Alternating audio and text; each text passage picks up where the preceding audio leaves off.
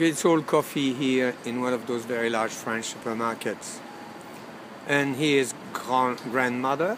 It's an original recipe from uh, 19, uh, 1954. Have a look.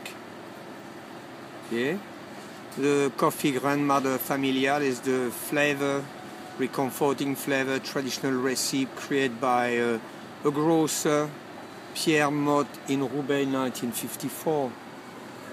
I'm a bit careful because I'm not supposed to film in those supermarkets. Uh, but when you look further, I can I can see here that uh, Kraft bought it. So if you ever wonder about, you know, um, when you read the portfolio of the takeover from Kraft, it's enormous. Look on the internet, can be like gigantic. Here's one example here.